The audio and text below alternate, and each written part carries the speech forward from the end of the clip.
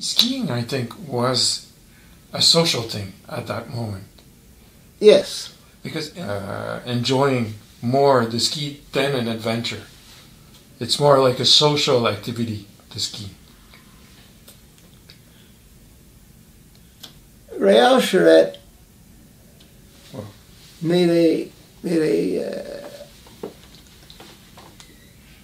a tremendous business out of skiing as a social thing.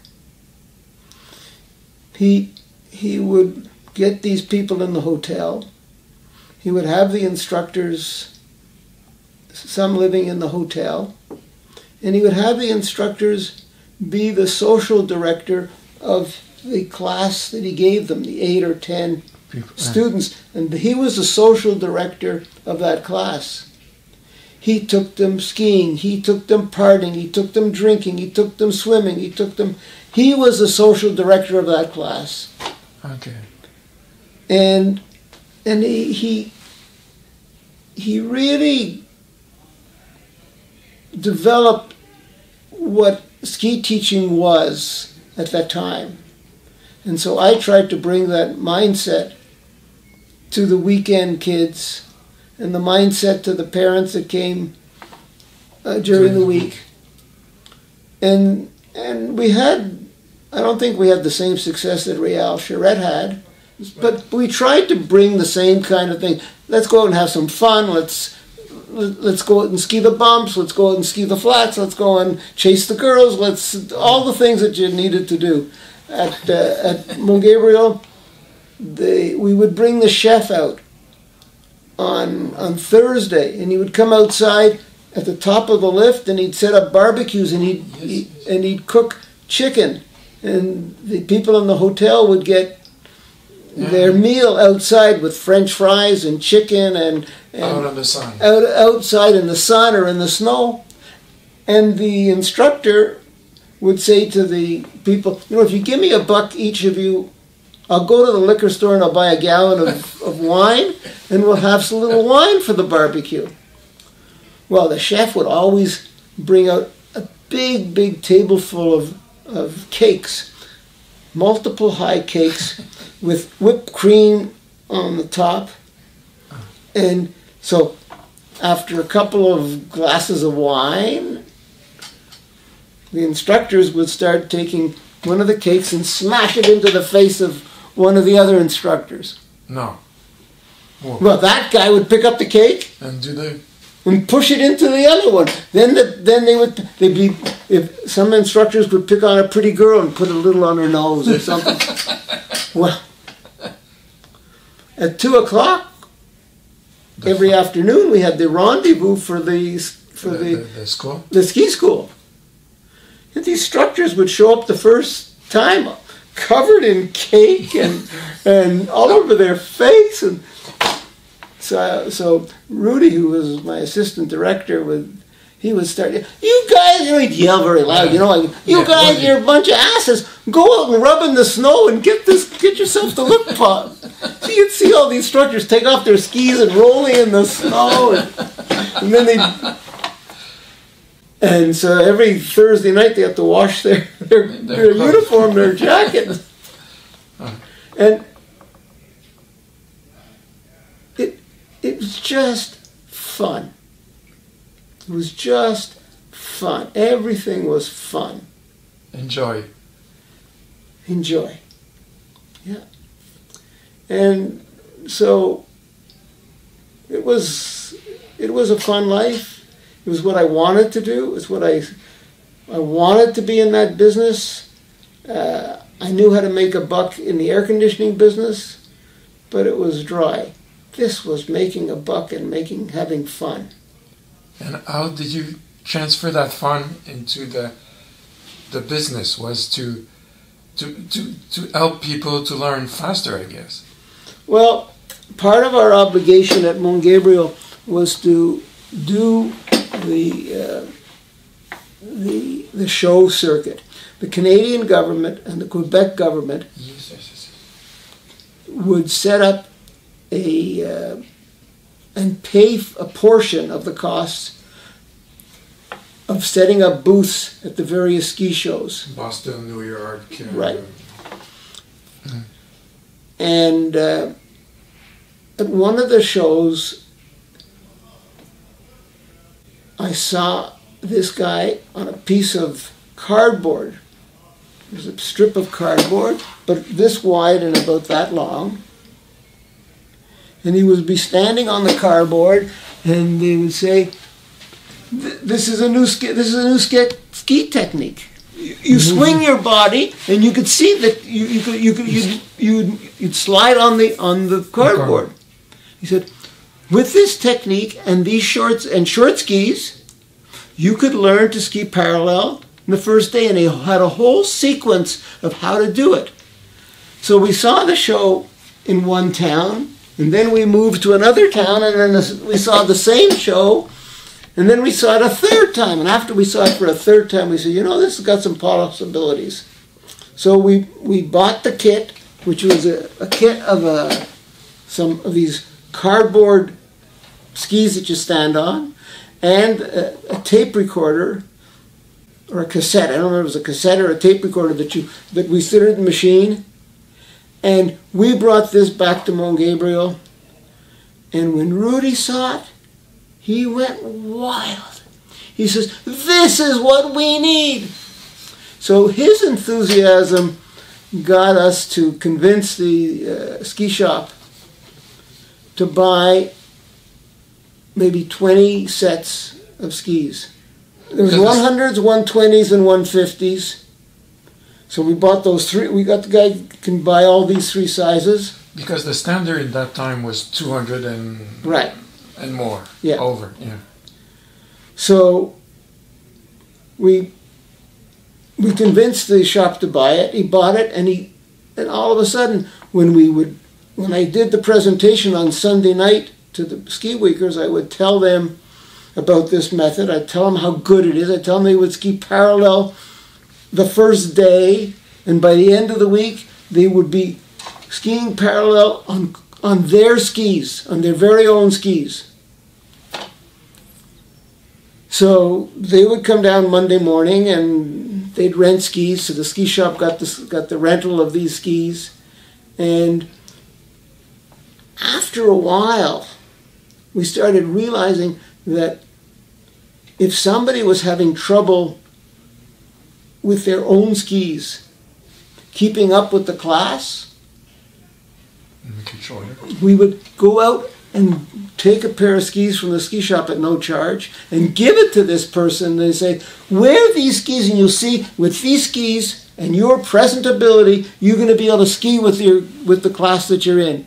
If you don't want, I can put you to a slower class. But if you want to stay in the class that you're in, put these skis on. And did it work? Absolutely. Really well?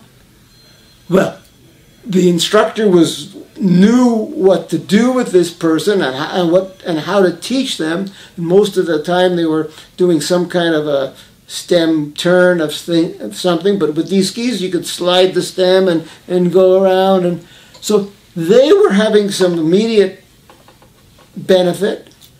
It it helped to keep the classes together. Different abilities or almost different abilities could stay in the same class. Uh, it, it just had so many advantages. Like you said, you were tying two skis together, and with the rope, you would be able No, I wasn't tying the skis together. I was tying the The- ankles of this. Of, I had a rope around each ankle at the boot level.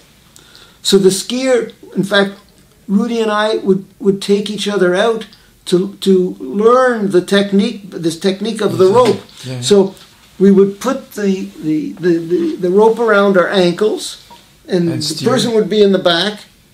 And it, because we knew how to ski, we had too many sensei. We knew what to do, so we would put a, a, a blindfold on. And the other guy would be on the rope, and he would hold the rope, and he said, "Okay, now turn to the right," and and you could you could see that he would turn your skis to the right. Okay, turn to the left, and he would turn. He could turn you to the left, and so we perfected this method. I taught my son to. sk- I taught my son to ski that way. We started out on 70 centimeter skis at two and a half years old. And by three, he was skiing all over the mountain. When he got into the ski school at age six, they said to him, um, "Okay, how do you ski? Show me, you know, how show, me your snow plow." He said, "I don't know what a snow plow is." He said, "I don't know what, what are you talking about? I don't know what a snow plow is." So they put him into a class with beginners. And here it is, he's skiing parallel, and the rest of the class is, is snow plowing. Starting. So I said to the, the guy, I said, I said, you don't have him in the right class. And this guy, happened to time, knew me, and he knew it was my kid, so he says, Stan, you pick the class that you want. You put him in any class you want.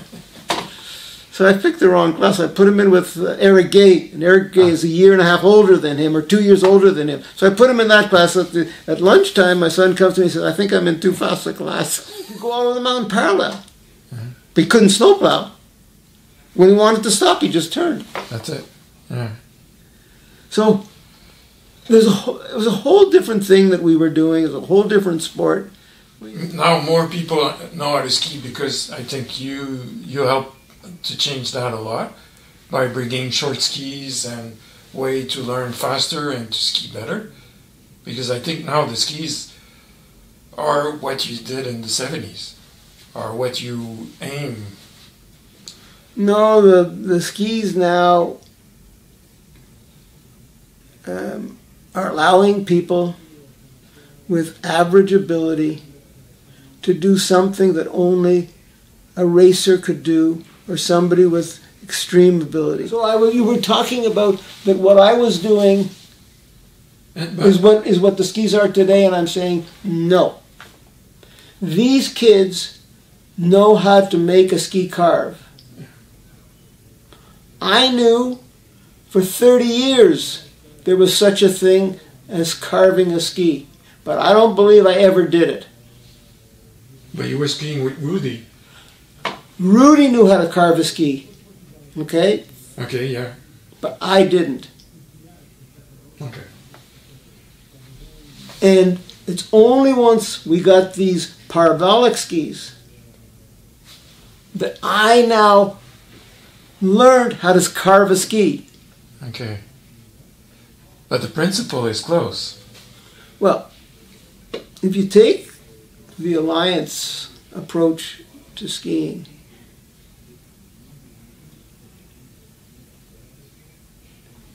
they expect that every turn is going to be sliding.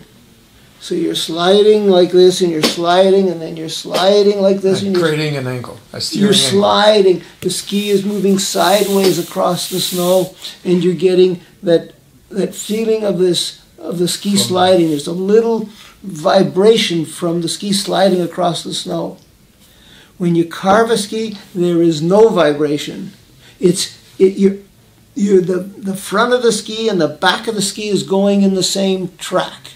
And if you load the ski up as you come along, you can load it up so much that at the end of the turn, if you release it, it pops. And it goes. Okay, and it Accelerate. pops you into the next direction. And it and and if you ski with this this kid, That's what they do. she pops every turn. And and she knows how to pop it to go into the turn, and she knows how to pop it to make it go faster. Mm-hmm. So she can take that pop, she can build that energy up and make that pop and pick up speed. And and so it's it's a it's a sport that we weren't not teaching at the time. We ta- we talked about it, but there was very few people that could do it. Rudy could carve a ski Yeah, yeah. In the bumps. in the bumps, and and not many people could. And Dean, as an example, Dean, one year um, when when I was at the ski school, we had six guys went up and got a level four in one year from my group. Okay, and I kept on saying I'm not a hot skier, but, here it is: six guys went up and got a level four. Rudy was one of them. Dean was another. Um, and these were guys that were teaching in my school every single day, and here it is, they all go off and come back with level 4s Then we got a, um, we were one of the first places to have a video machine, portable video machine. So we, we were videoing the classes. Are you serious? And what, what year was that? Well, I started there in 70? 69, so it was 69, 70, 71. So we had the video, and we were we were taking the videos of the skiers and then showing it back to them. We realized that people didn't like to see themselves ski. Okay. They, they felt that they skied better than what it showed.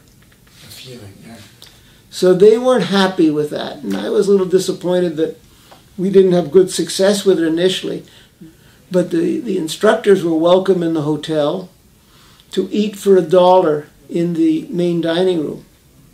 With the clients, with the skiers. With the clients or even without the clients, just to be around. And so they had to wear their, I bought all of them a navy blazer and we put a crest on there and they, they got into the hotel. And so this guy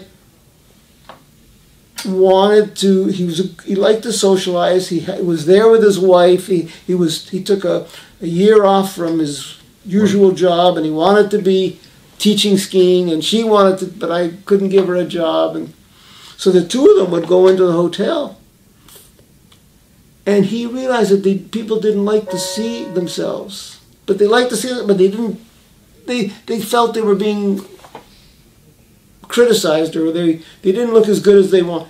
And he would make everybody feel good about it. So he would sit hours in the lounge Talking about it. with with the video and the screen and so on, and he would he would talk to them and show them, and and uh, so he was having a good time, and that made it a little more palatable.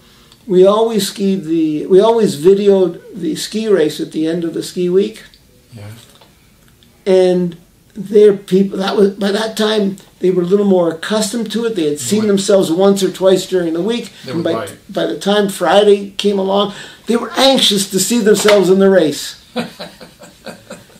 after the second year at mount gabriel i um, i said to the general manager who i was very good friends with his name it was name he's dead now jean barvutz Yeah. his brother guy barvutz was director of the ski school the year bef- the years before me Okay. and and Guy was such a good skier that he made the demonstration team with making only one run. They were there to choose the team. They went and they, they took three days to choose the team. Mm. He got so loaded that he only made w- one run. He made the team with one run. So That's how good he was. Yeah. Okay. Every Sunday he would bring cars in onto the slope, and he had a a, a, a jump built, and the, he'd bring the cars in, and he would jump over the cars. Oh. So he was a real showman. He was and, and so much better than I mean I couldn't even be in his class. I'm not a skier in his class, but boy. So his brother was a general manager, and I was always concerned that he wished that that his brother was The ski school the ski director. school director, not me. And he kept on saying, "My brother brought me nothing but trouble." He says, and, and he says, and you are taking all my troubles away, and you're making things fun for the guests, and they're having a good time. And says, he says, says, so he was very appreciative of it. And every time he would buy me a drink, let's go to the bar and have a drink. Let's go to this, let's do that.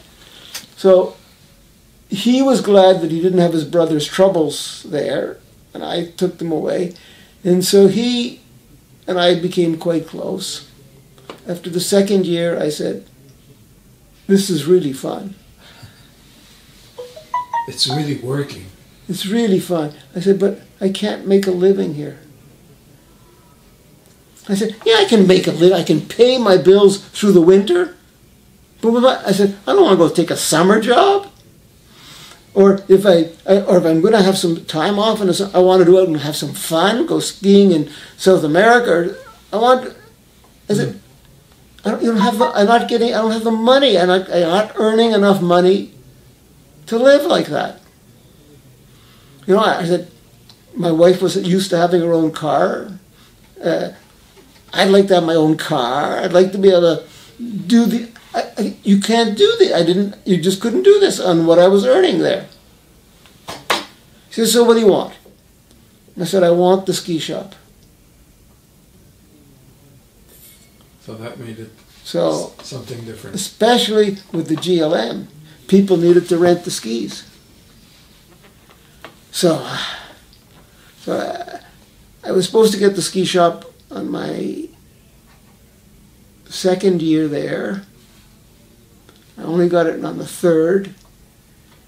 Um, but when I finally got the, the, the shop and the ski school, and the nights, and the, it just everything was starting to come together, and and I was starting to make some money. I could only earn a living when I had the ski school and the ski shop. And so they bought clothes. They bought. Uh, I had a. I was selling boots, ski boots. I said to anybody I sell ski boots to, wear them, go skiing three times. Uh, if you if they don't if you're not happy after if they don't fit you they're not happy they're hurting whatever if you're not happy after three times bring them back and give you back your money. I said i need to know you went skiing three times. You need to bring me three different ski tickets to say that you went out three times. So it was just it was fun. It was just fun.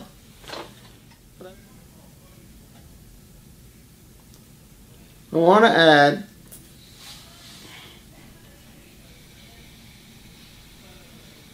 that the the ski schools um, are, and the Ski Alliance is teaching skiing so that people can go out and ski and have fun. But those people that go off and race, like Lindsey Vonn and and uh, Laurent Saint Germain, Erik Guay. My son was in Erik Guay's class for a while. Yeah. Those people learn a whole different sport. It looks the same to the untrained eye, but it's a whole different sport. And and I think the the alliance has tried to bring the two sports together, but from what I can see, they're not successful. But what the way they're teaching the people to ski in the racing programs, it's different. It's a whole different sport. Mm. And, and when I was teaching skiing, I didn't know that it was a different sport, and I didn't. I didn't do anything to foster this elite type skiing. Yeah. And so, if I had to do it again, yeah. I would do it differently. Yes. I would I would try to make I would make sure that the fun was still there, but I would try to develop these elite skiers. I didn't realize that if you're going to c- compete with those other kids, you just can't ski for four hours every Saturday. You're just not going to get there. And I didn't realize it at the time. And so, yeah, if I had to do it again, I'd do some different things. but I still believe in the short skis, and I don't think that the schools are using them today uh, enough. Could still make the difference between good skiers and carving skiers, and you still have that eye, that teaching eye. Yeah, because uh, that's what drove me all these years. I wanted out of this business here. I wanted out of this to have the to go skiing, to do something in skiing. I tried. I made a little dent, but I didn't. I couldn't do it more than that. Why you say a little dent?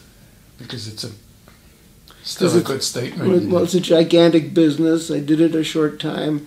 Actually, from the first busload to the last day that I was in the business was 13 years. Yeah. What's your best memory of it, or your moment of it, of those 13 years? What you're mostly proud of?